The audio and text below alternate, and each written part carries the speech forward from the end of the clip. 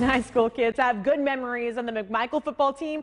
Remembers what happened on March 5th of this year. They were crushed by Rockingham County 41 to 8. Returning players for McMichael looking for some payback tonight. McMichael at Rockingham County. A little rain and lightning delay the start of the game, but we're going to get this one going. Late start. It really didn't bother Rockingham County. Quarterback Luke Smith connects with Malik Bryan in the end zone for the score.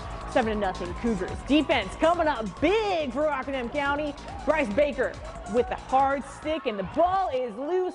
Connor Lambert with the fumble recovery gives the Cougars the ball. Rockingham County marches down the field for another score. This is Devontae McCollum, 10-yard run. Another touchdown for the Cougars, 15 to nothing. Rockingham County beats McMichael 22 to 15.